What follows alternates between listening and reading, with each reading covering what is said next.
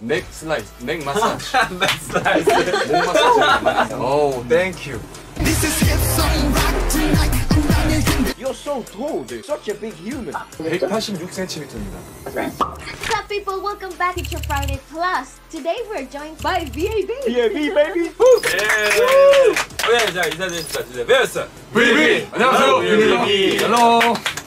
So cool to have you guys in. I have to say, you guys are one of my favorite groups in the industry right now because of so many of your Latin influences songs, and I love it. We're, so we're thank you from for coming. we're from South America, uh, Venezuela. 오, 야. Gracias. De nada, de nada. Let me get straight on with um with designer because uh, we we reviewed your your song designer on, on one of our podcasts a couple couple of weeks ago and uh, we were so impressed with sort of the mambo influences and even brazilian funk in there and salsa and uh, very latin influenced and uh, my question is uh, how did you come up with these sort of ideas because i know a, a lot of you write and um, are very involved in your to the process of making the banger designer 네, 일단 저희 VB 하면은 사실 뭐 전에 어, 라틴 음악이라고 하면 뭐 세뇨리타, 김민몰 네 이렇게 두 곡을 발매를 했었는데 사실 그때 워낙 어, 라틴 팬분이랑 모든 팬분들이 많은 팬분들이 좋아해 주셔가지고 저희가 또 오랜만에 컴백을 하는 만큼 이번에 또 라틴 음악을 해보면 어떨까라는 생각에 제가 또 디자이너라는 라틴 곡을 하게 되었습니다. me. Well, it well it worked, mate, because uh, everyone as soon, as soon as we reviewed the song, everyone was like, "Oh my god, what a song!" It, everyone, it seems, everyone loved it. So I also feel like it's the right, uh, it's the right kind of like energy after a little bit of a break. Yeah. Um, because it, it just dance, creates, you know? yeah, it creates that whole party idea from the beginning. I loved it. Oh. oh. Thank you. Let's perhaps take it back uh, all, the way back to the beginning, e- even to pre-debut days. Um, one of the things we like to ask is, tell us about your own beginning story in the arts, in music, in dance, and how did you end up choosing the path to becoming a K-pop idol?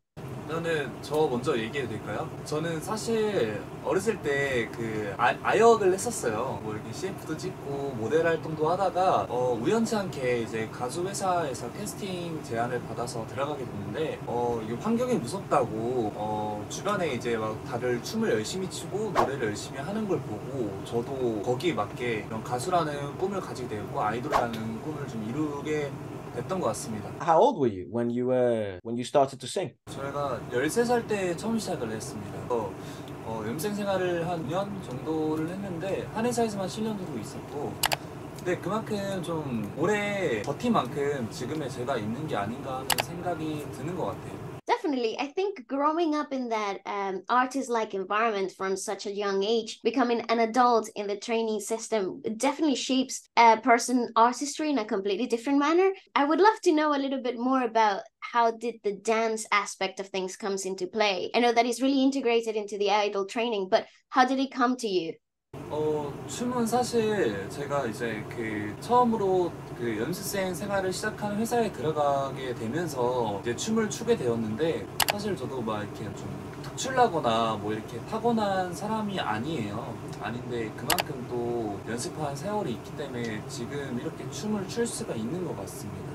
Yeah, it makes a lot Well, of sense. practice definitely. leads to maturation and uh, comfort. Uh, if anyone would like to share their beginning story, I'm Please more, more than happy to. And I'm sure your fans would also be so intrigued in, in, in hearing sort of the beginning stories. 전 지우고요. 제가 처음 이제 이 음악을 접하게 된 계기는 중학교 때 한국에 계신 레인 비 선배님이 있습니다. 근데 그 당시에 비 선배님이 이제 힙송을 힙송이라는 노래가 있는데 그렇게 힘차게 무대 위에서 하는 모습을 보고 정말 반하게 돼서 나도 저렇게 되고 싶다라는 생각이 들어서 음악의 길로 밟게 되었습니다. Oh, Rain! Yes. Nice! You're so tall, dude. Such a big human. 186cm입니다. Hey, you're pretty tall, yeah. So, yeah. Did you start really early into the trainee program? Did you come into as a teenager to into the trainee program, or did you come in a little bit later in life? 저는 중학교 2학년 때요. 14살인가? 15살 때요. That's cool. Uh, What did your parents think of that decision, though? It's Yeah, kind of dude. young to go into, uh, to move away from home and start dancing as a living. 일단 저희 어머님은 전직의 댄서였습니다. 댄서. 그래서 굉장히 응원하셨고 아버지도 많이 응원을 하셨던 것 같습니다. nice. Beautiful, That's beautiful. so good. I'm happy for you because look at you now. Yeah, Great. you did, you did great, man. That's awesome. 오, 땡큐. You go, Missy. That's great. Alright, lads. Anyone else, please. 뭐 저는 그 원래 그 필리핀을 좀 오래 살았어요 유학으로 살다가 갑자기 이제 한국에 방학 때 놀러 오게 됐는데 그때가 17살 때였습니다.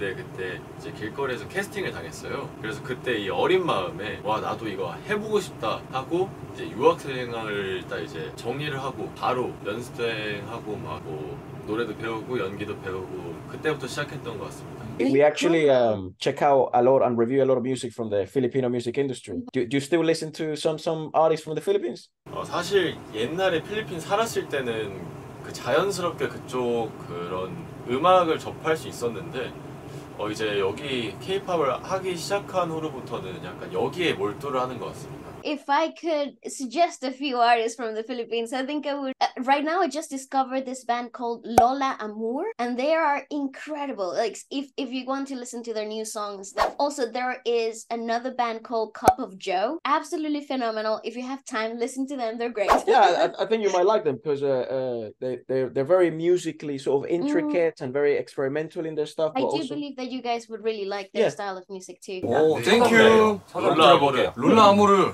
Yeah, yeah, that's right. yes. what what what are you guys uh, listening to? Uh, so especially when it comes to in, in a year where you're sort of promoting and you are making an album, are you very sort of uh, critical of the things you're listening to, so you don't expose yourself to many things, or are you just sort of like absorbing everything like a sponge? What are you kind of listening to when you're about to create an album?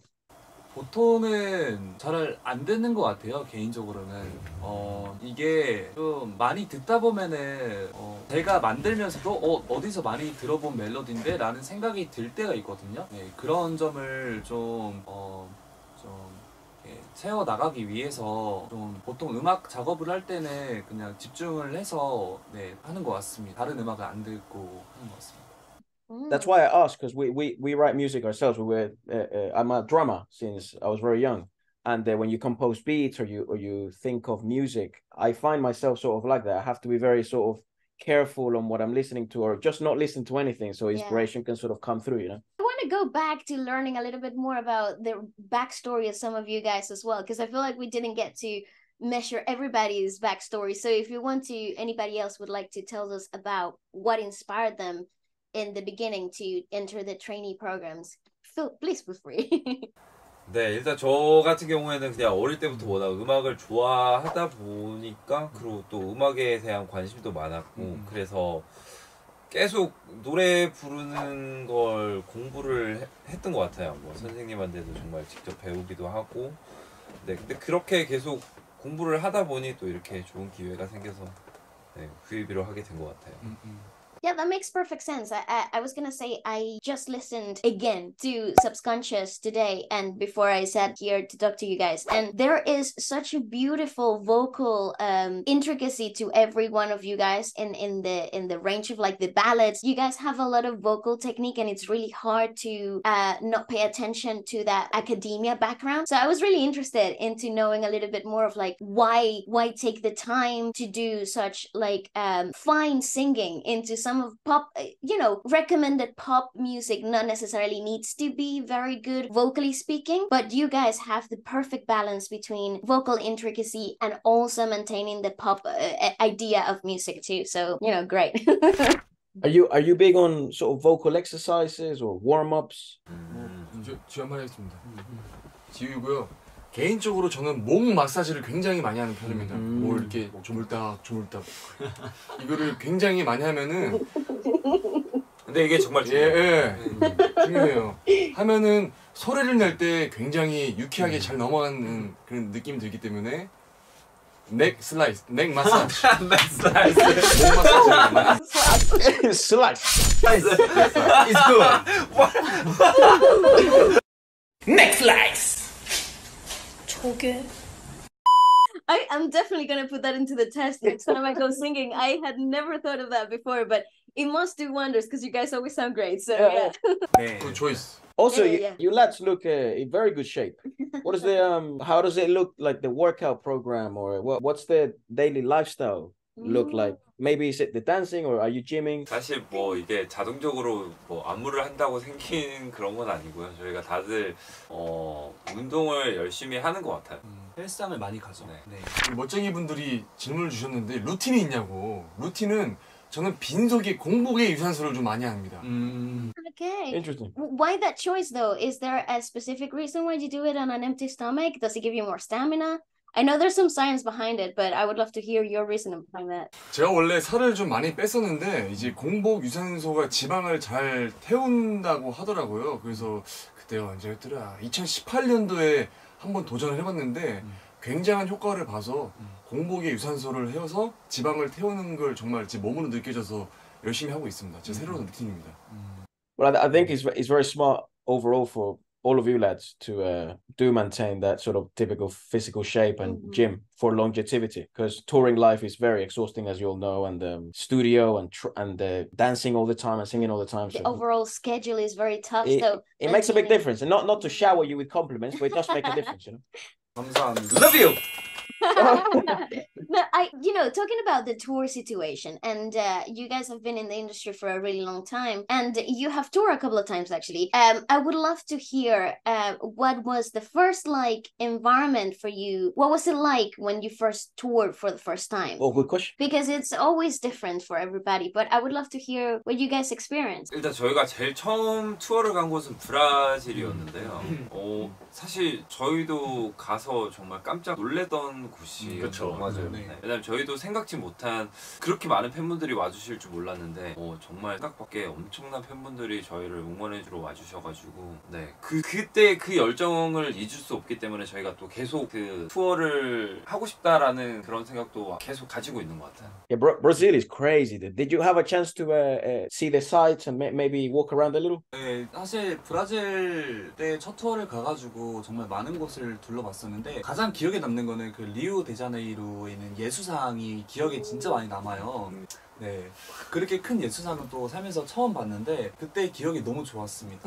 저희가 물론 공연을 위해서 투어를 위해서 이제 브라질에 간 건 맞지만은 또 이제 그 짧은 시간을 이용을 해서 이렇게 잠깐 이렇게 여행을 할 수 있다는 것 자체가 되게 행복했었던 일인 것 같습니다.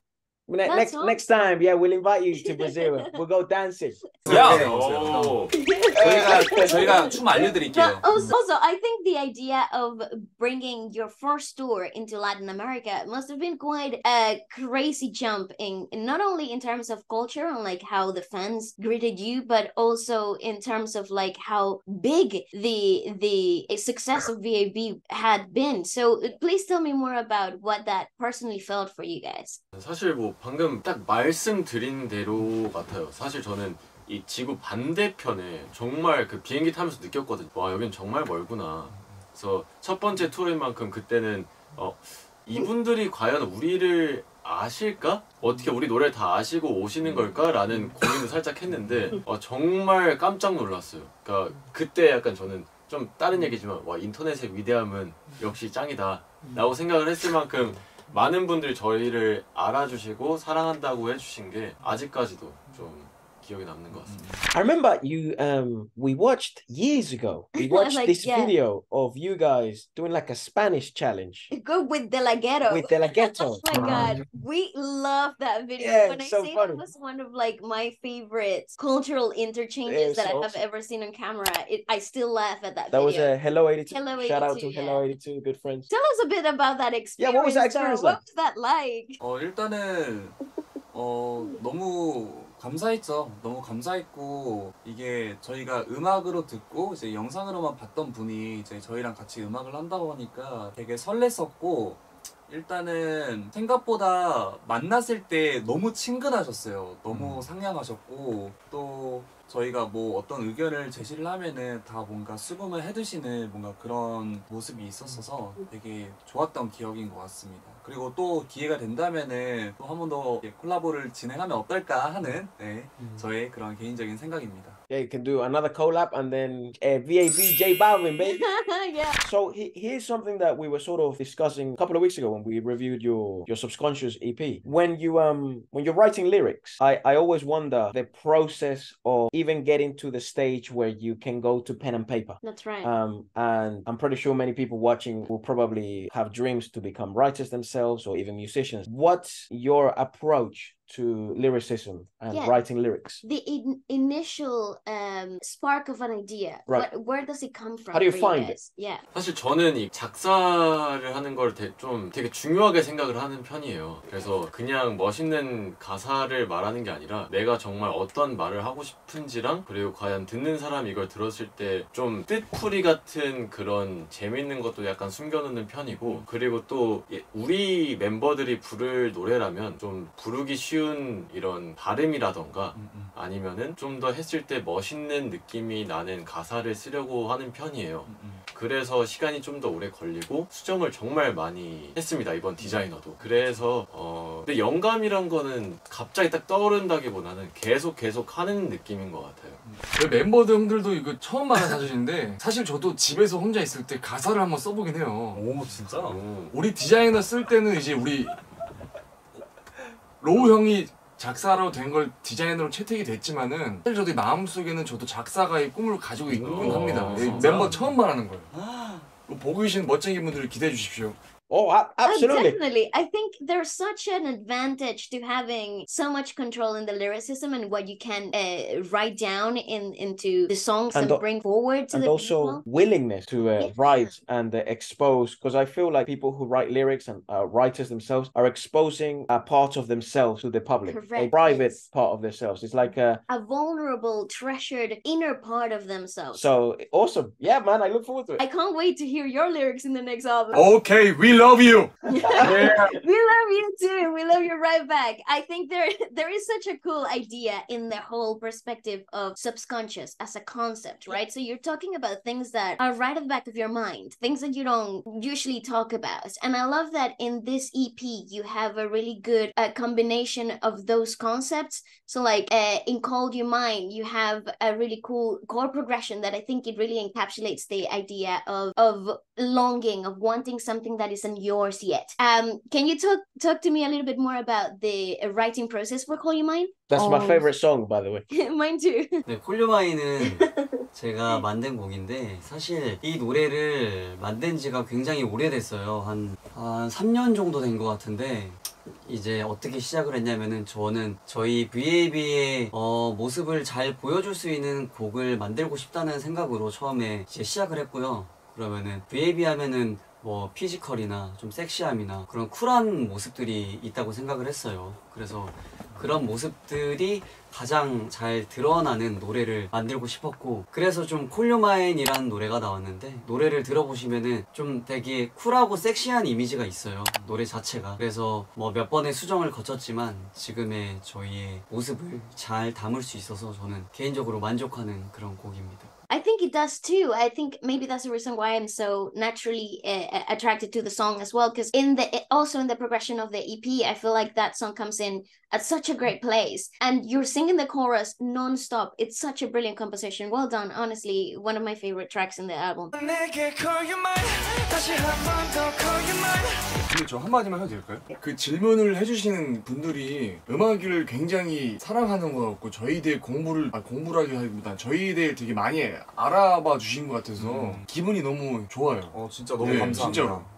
no no th- No, thank, you you guys by the way we actually didn't do that much research we've just been listening to your music for a quite, while. quite a quite a yes, long for a time while. and uh, i think you know what, uh, you guys know this yourself when you're involved in music for a while you can sort of notice uh, things in the production or lyricism the and uh, congruency of a certain product. You can really tell when the artist is really invested in the music. And i think you guys obviously can tell too because uh, given the fact that you're so involved artist artistically wise So- in the making of this uh, this album don't give us any credit. No, Uh, the credit is all yours. So Yeah. but but thank you for the for the lovely words. You know what i've always wondered? How do you choose the order of the ep like what which songs is it down to you guys to choose how- what how does that work? do you get to pick your title tracks as well? Yeah i'm very intrigued. 네, 일단 저희가 당연히 뭐 타이틀곡 선택하는데 저희가 사실 이번에는 거의 저희가 선택했다고라고 네, 해도 될 정도로 사실 타이틀곡을 저희가 수집해온 곡만 한 사실 50곡?